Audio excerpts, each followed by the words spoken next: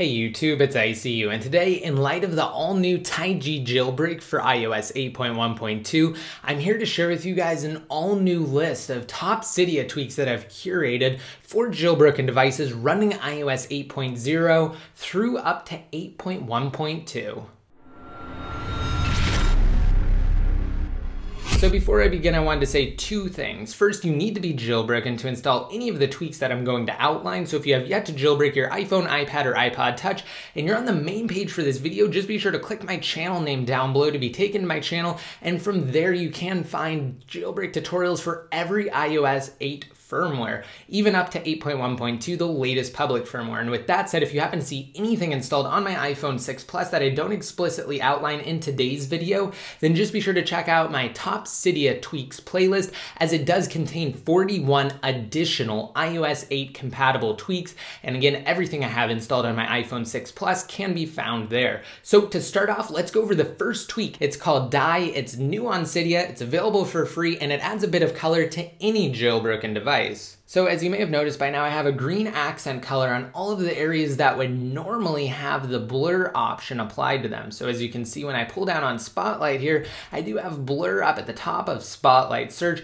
as well as even inside of the App Store. As you can see, it's applied there as well as to the bottom. So let's go ahead and open up settings, which you actually get a new settings pane for Dye when you install it, and you get a few basic things. You can enable it, you can change the color, and let me tell you that there are so many different options here. As you can can see you can pick your color and then you can also pick the alpha or opacity of said color to make it either more or less obvious. Now let's go ahead and go back and go into advanced because this is actually kind of a two-in-one tweak. For those of you who really like the darker keyboard that is applied inside of the spotlight portion of iOS, you will absolutely love this tweak because even if you don't like dye and you don't like the color effects that it adds, then you can enable it and just have darken keyboard toggled while leaving the color normal. All right, many of you have also probably spotted this next one. It's called Classic Dock. As you can see, I no longer have the iOS 7 or 8 inspired dock. I now have the one that was initially intended for iOS 6, but it does have a twist. So let's go ahead and launch up the settings app here. And inside of the Classic Dock pane in the settings app, you have a few different options. You can enable it and you can pick the mode, whether you want the classic style, which is just the regular iOS 6 dock, or whether you want it with a modern twist.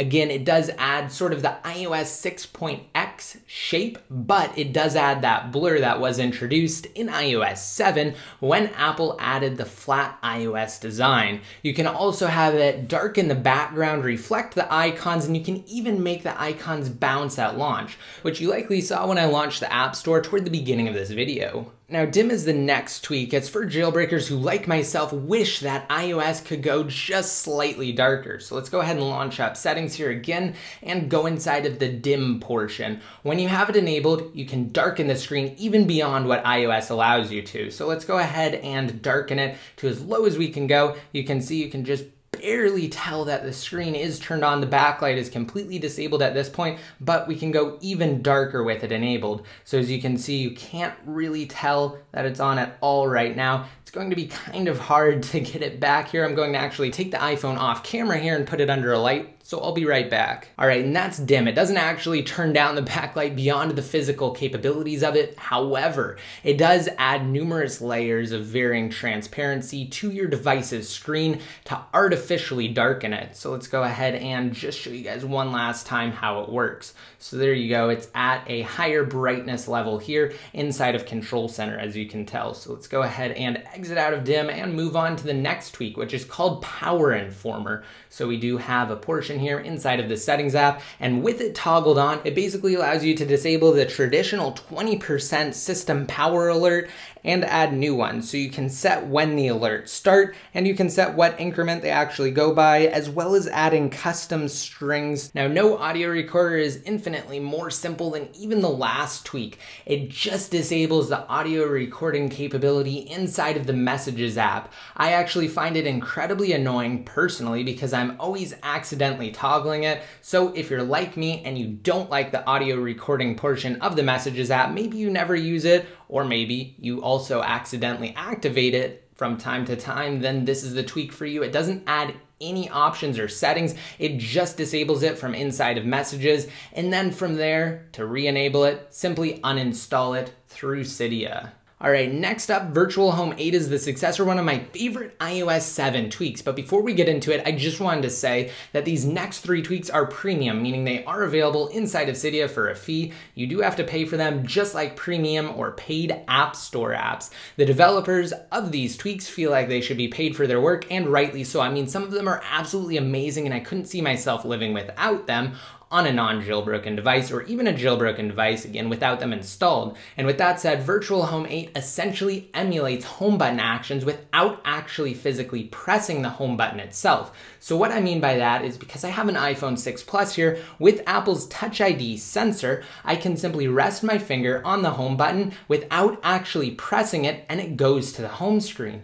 I can also double press it or actually, excuse me, press and then hold it and then it'll lock the device. So as you can see now, the device is locked, and if I wanna unlock it, I just have to rest my finger on it, it wakes the screen up, and then it unlocks it with the finger that's enrolled through Touch ID. So that's Virtual Home 8. There are a couple of other settings that you can adjust via the Settings app, but that's basically it. All right, and the next tweak is a premium alternative to the previous one, Virtual Home 8. It's dubbed Smart Tap, and it's for those jailbreakers who are either looking for something slightly cooler or who don't have a Touch ID sensor on their device meaning they don't have an iPhone 6, 6 Plus, iPhone 5S, iPad Air 2, or an iPad Mini 3. And basically it allows you to double tap on the screen itself to either lock it or to unlock it. So let's go ahead and activate it here. It's kind of tricky. You have to do it just right. As you can see, a double tap there did indeed wake the screen up. So let's go ahead and do that again.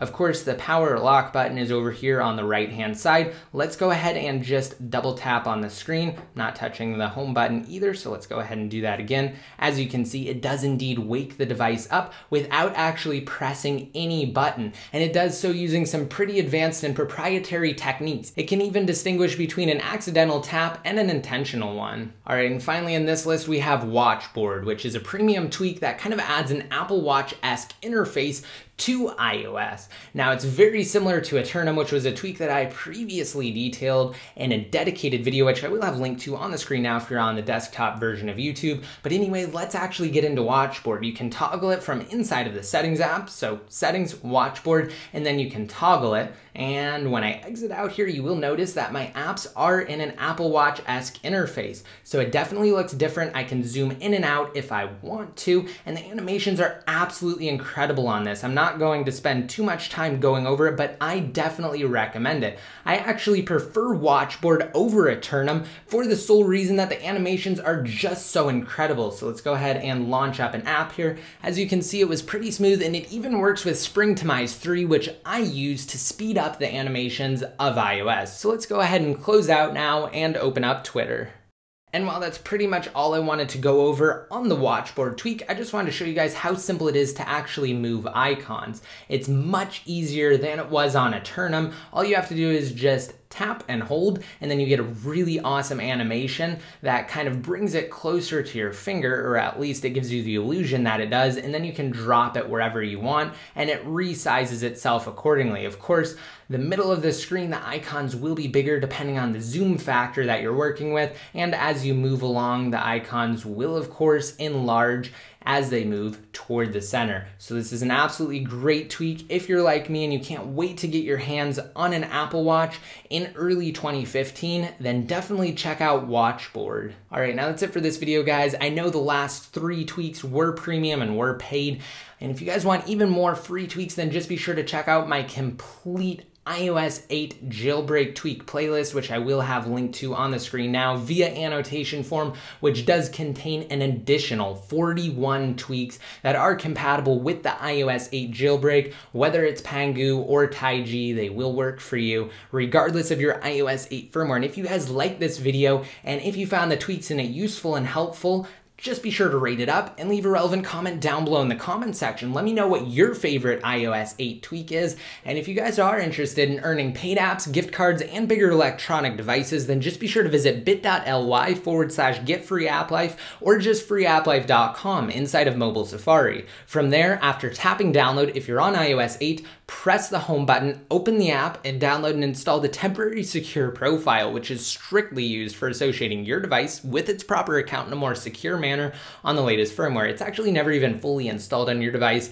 as it's immediately deleted once your account has either been created or reassociated. And then from there, simply download sponsored apps for points, refer friends for even more, and redeem said points for the aforementioned prizes. Alright, and that wraps up this video. To be notified when I release additional top tweak lists, just be sure to like me on Facebook and follow me on Twitter. And until next time, this is ICU, signing out.